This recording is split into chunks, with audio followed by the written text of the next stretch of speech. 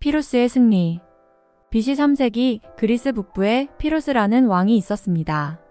그는 전쟁 전문가로 주변의 많은 나라를 정복한 풍부한 경험과 강한 군사력을 가지고 있어 로마에도 전쟁을 선포했습니다.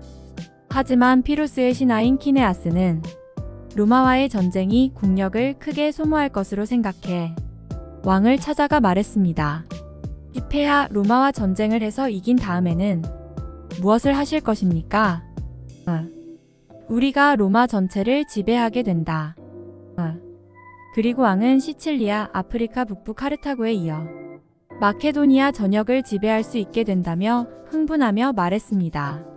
대답을 들은 뒤 키네아스는 그 다음에는 위라는 질문을 던지자 왕은 말했습니다. 키네아스 주변의 나라들을 모두 정복하면 우린 정말로 편히 앉아서 인생을 즐길 수 있을 거라네. 어. 모든 정복에 성공한 뒤에야 편히 쉬겠다는 왕의 대답에 키네아스는 답했습니다.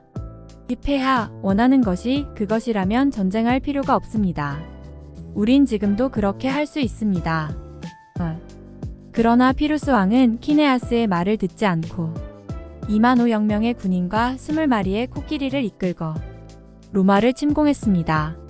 격렬한 전쟁이 끝난 후 피루스 왕은 승리를 얻었지만 코끼리는 다 죽고 군인들도 4분의 3이나 죽어 남은 병력이 얼마 되지 않았습니다. 패배나 진배 없는 승리를 표현할 때 피루스의 승리라고 합니다.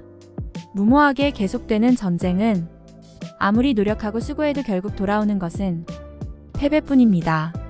매우 소중한 것으로 생각했던 승리의 전유물이 사실은 아무 쓸모없는 것으로 판명나는 경우가 많습니다.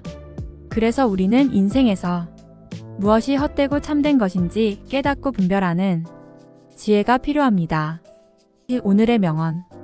물을 빤히 바라보는 것만으로는 바다를 건널 수 없다.